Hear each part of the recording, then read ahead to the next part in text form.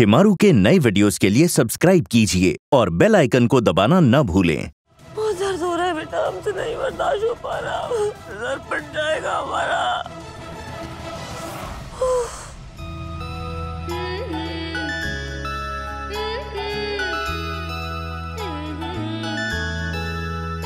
चिंता मत कीजिए आपको कुछ नहीं होगा।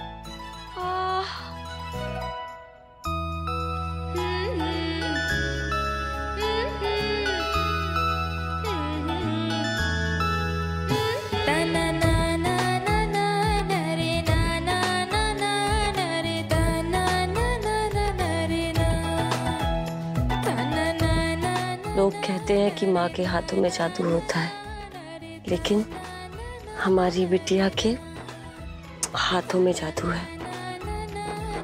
पहले से बहुत बेहतर लग रहा है।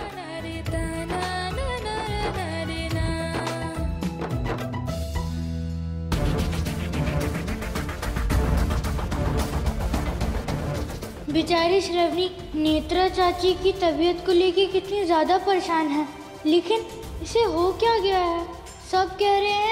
कि चाची बिल्कुल ठीक है तो फिर ये इतनी क्यों परेशान है? और दादी के जेवर क्यों चुराए थे इसने?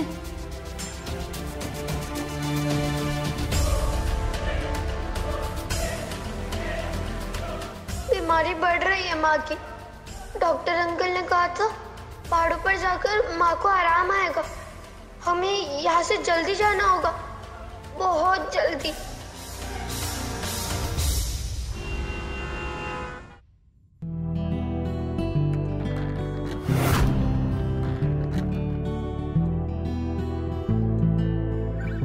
बाबूजी भानु भैया। ये कहाँ की सवारी है भाई? भैया हम शिमला जा रहे हैं। बहू को लेके? जी बाबूजी। वो कहा है ना दो चार दिन साइट पर काम कम है। तो सोचा बीना को घुमा लाए। अरे वाह ये तो बहुत अच्छी बात है।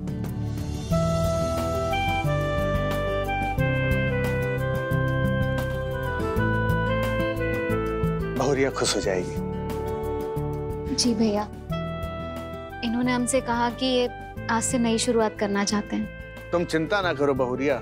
इसको तो हम तुम्हारे साथ स्टेशन तक छोड़ के आएँगे। इसका कोई भरोसा नहीं है। कभी भी पलट सकता है।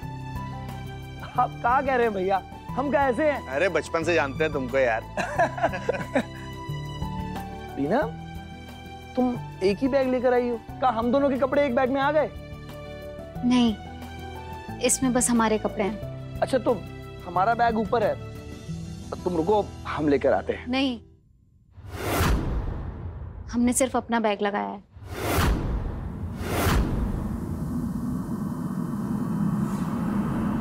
क्यों? क्योंकि आप नहीं सिर्फ़ हम जा रहे हैं। हमेशा के लिए।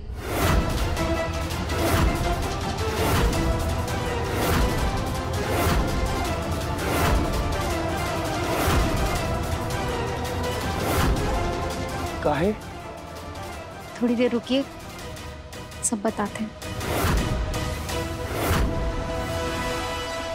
क्या हुआ, बीना?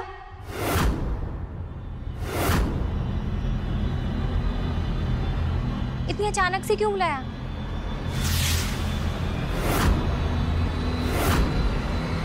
हम तो घबरा ही गए।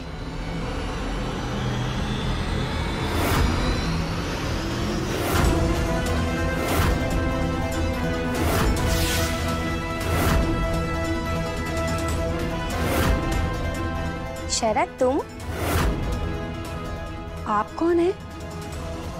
और आप शरद भैया को कैसे जानती हैं? भैया तुम्हारी बहन भी है?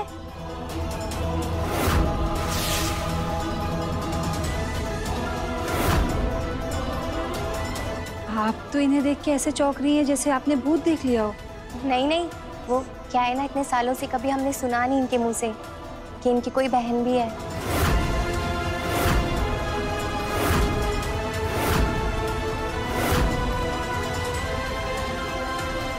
इनके मुँह से? आप हैं कौन?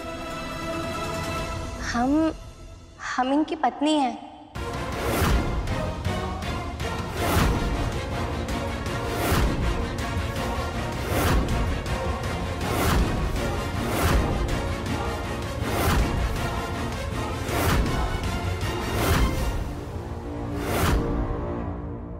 शरद ये सब क्या है?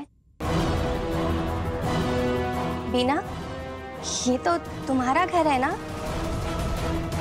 तो फिर शरद यहाँ ये सब क्या चल रहा है? शरद जी इसलिए यहाँ पर है क्योंकि ये इन्हीं का घर है। इनका घर?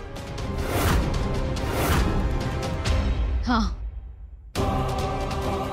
ये इनका घर है और ये इनका परिवार। ये इनके बड़े भैया। बाबूजी, भाभी। छोटा भाई। बहन।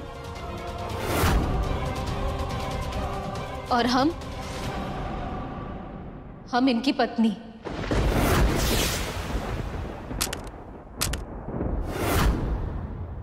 इनकी ब्याहता पत्नी।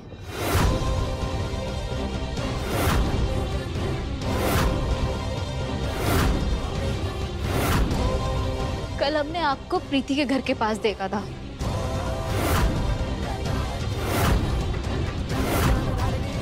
और हमने तो आपको फ़ोन भी किया था ना?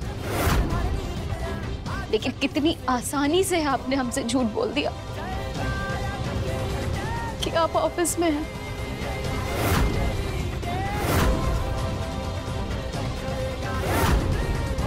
बस, तभी हमारा शक और गहरा हो गया। और इसीलिए हम प्रीति के घर गए।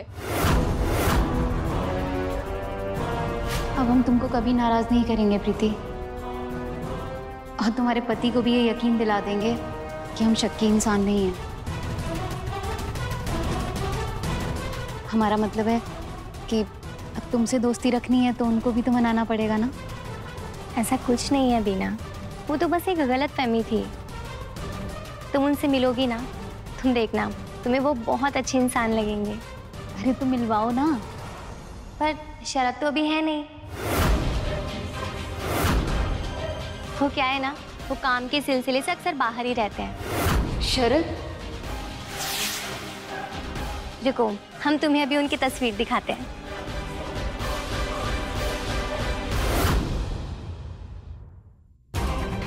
देखो ना कितना सोचा था हमने कि हम सब इकट्ठा मिलेंगे। पर ना तो तुम कभी हमारे पति से मिल पाई और ना ही हम तुम्हारे पति से। खैर छोड़ो। ये है हमारी शरत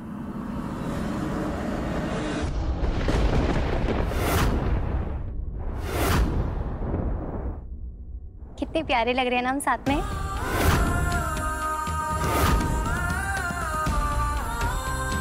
बिल्कुल एक दूजे के लिए।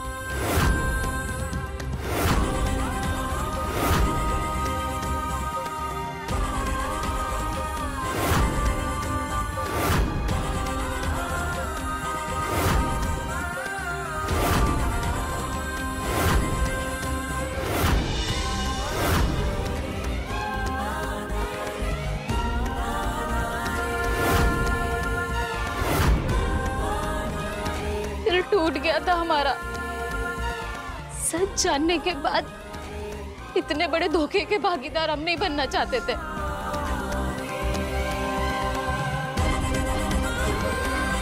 और, और इसीलिए हमने प्रीति को बुलाया।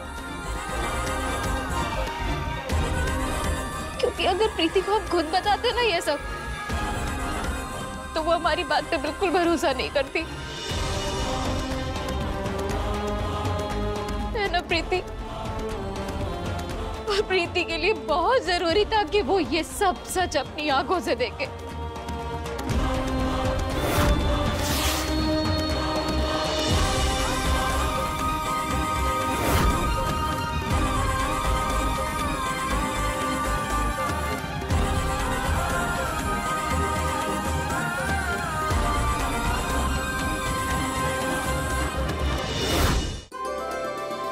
मासूम श्रवणी का हौसलों भरा सफ़र देखने के लिए अभी अपने टीवी पर लगाइए शिमारू उमंग।